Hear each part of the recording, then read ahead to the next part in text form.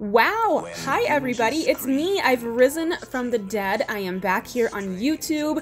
I am planning on just uploading about once a week, but I am so excited to be back. I had to take a break, um, a year and a half long break apparently, it YouTube is just so hard and with everything else going on in life, I just really needed to crack down on Instagram. I post tutorials all the time on Instagram, um, but now I'm wanting to get back into YouTube. So I hope you're just as excited as I am. I'm to be posting once a week. That's my plan.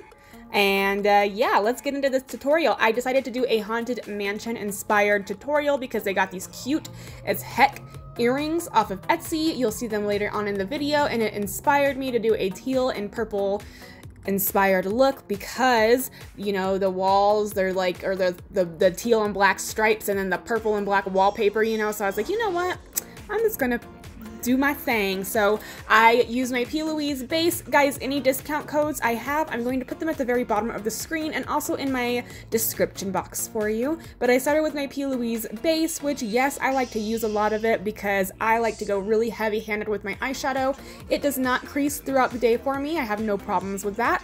I used my Melt Cosmetics Radioactive palette, and then I also used my Spoiled Lips Cosmetics Diary palette. And now I'm cutting the crease with a white P. Louise eyeshadow base. I just go in with a very small brush and get really up in there and go really slowly and just, I'm, I'm just patient to make sure I get a really nice and clean line. And then I just pack the shadows right on top of that. I like to pack shadows, guys. I try not to swipe and swirl too much until I have everything laid down. Then I will go in and kind of start, you know, doing circular motions and windshield wiper motions. But to initially lay everything down, I pack it down to make sure it sticks to the base, and then I start going in and blending it out. It took me years to kind of get to this point with my eyeshadow. Um, it's just a lot of practice. I tell everyone that all the time. You just gotta practice. Now I'm taking this Acid Reign P. Louise base. I love these ones because they do dry down you do not have to set them with anything. I love to use them for the lower lash line as well. I personally always put shadows on top of it, but regardless, whatever you do, it doesn't matter because the bases, they don't get cracked, they don't get weird, they stay perfect. I'm taking my Urban Decay Heavy Metal Glitter in Studio, which is a purplish glitter, and I am just lining my cut crease. I love to line my cut creases with glitter because I think it just makes it look a lot more clean and adds a little, you know, a little something else. Why not? Who doesn't love glitter? I'm just kidding. I know there's a lot of people who don't love glitter, okay? I just really love glitter. I took a teal, a very light like mint teal color from ColourPop, a pencil, and I put it in my waterline. And then I took the, um, I think it's that, this one's called Nitro, the Acid Reign P. Louise base, and I used that for my lower lash line. I like to do that because I have really dry under eyes, and sometimes eyeshadows won't stick, so using a like thick, sticky base underneath on my lower lash line and then putting shadow on top of that helps make it look more dramatic because you know your girl loves drama when it comes to makeup. For my highlight today, I'm using the Artist Couture Gold Digger Diamond Glow Powder.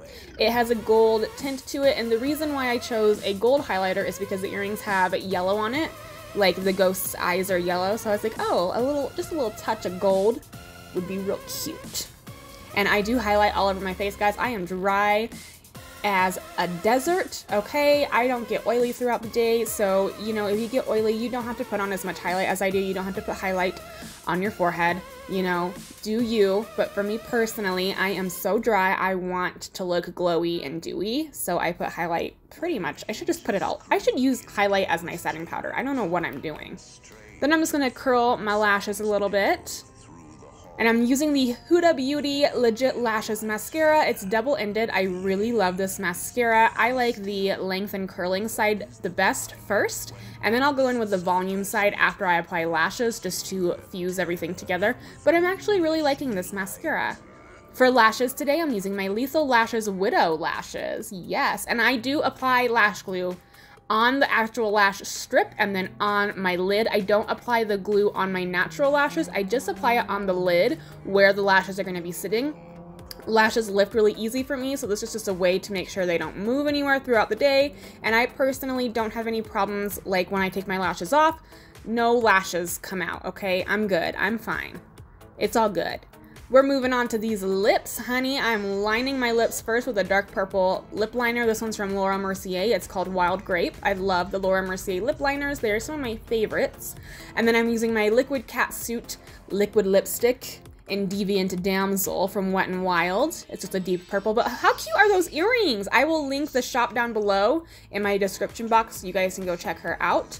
I'm also setting my face today with the Glow Coco Hydrating Mist from Huda. It's my first time using it and I actually really liked it. Just beware because Huda's stuff has a really strong scent to it. So yeah. And I also get questions about how I put my lipstick on with my lip ring. I just wipe it off after I'm done. You know, that's it. That's all there is to it. Thank you guys for watching. As I said, this is my first tutorial in about a year and a half, so I really hope you enjoyed it. Um, it was really fun to do this. It just takes me a little bit longer, obviously, to edit these, so I'm only going to be doing them once a week, but I've been getting requests about YouTube again recently a lot, and I thought, what a better time to start rather than before Halloween season. So thank you for watching, and I'll catch y'all next time.